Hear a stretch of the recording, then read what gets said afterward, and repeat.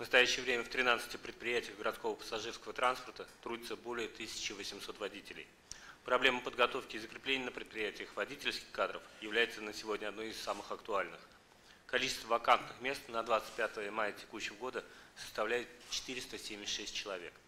Проблема дефицита связана с резким увеличением автомобилизации в городе и, как следствие, ужесточением требований к работе водителей сложным режимом работы – с целью обеспечения укомплектованности пассажирские предприятия принимают участие в ярмарках вакансий, выезжают в сельские районы и города Республики Татарстан, проводят встречи в военных комиссариатах для привлечения на работу лиц, демобилизованных из рядов российской армии.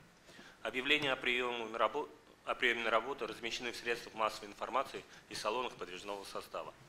Муниципальными предприятиями проводится самостоятельная работа по подготовке кадров. МУП «Метроэлектротранс» на базе Казанского автотранспортного техникума имени Абуденова ведет подготовку водителей трамваев и троллейбусов для работы на предприятии. Курсантам выплачивается стипендия, иногородним предоставляется место в общежитии с дальнейшим трудоустройством. Водители обеспечиваются форменной одеждой. В 2016 году обучилось 109 человек, из них 77 трудоустроились на предприятии водителями. На базе пассажирского автотранспортного предприятия МУП ПТП-2 в автошколе готовится водитель категории «Д». В 2016 году прошли обучение 34 курсанта, 10 из которых сегодня остались работать водителями.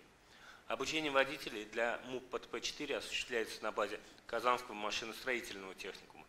За 2016 год обучилось 102 курсанта, 35 из которых трудоустроились на автопредприятии. Для сокращения дефицита водителей транспортные предприятия вынуждены привлекать граждан ближнего зарубежья – в настоящее время в пассажирских предприятиях города работает 554 иностранных водителя. Для иностранных водителей созданы хорошие бытовые условия. В пяти транспортных предприятий имеется 7 общежитий на 1536 мест.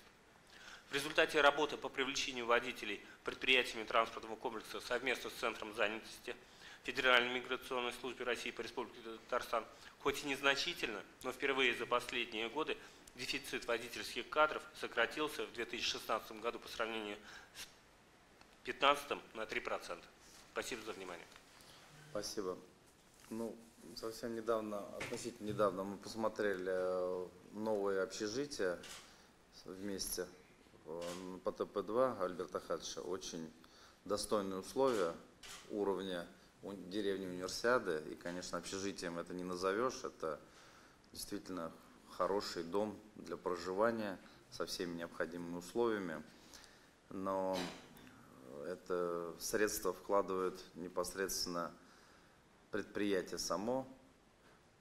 Не все это могут позволить себе, но тем не менее, в любом случае, это такой серьезный шаг на пути э, сокращения э, того дефицита водителей, который мы испытываем. 476 водителей на отрасль где свыше тысячи трудится, это, конечно, большая цифра. И тут нужно находить нестандартные решения. Высокая заработная плата, относительно высокая, свыше 40 тысяч рублей. И мы испытываем потребность в водителях, поэтому, конечно, вопрос, который нужно решать. Ну и несмотря на то, что э, все за работников борются, все-таки то, что прошлый год за 3, на 3% в количестве водителей приросли, вакансии уменьшились, это тоже говорит о той работе, которую, о большой работе, которую наши руководители общественного транспорта проводят.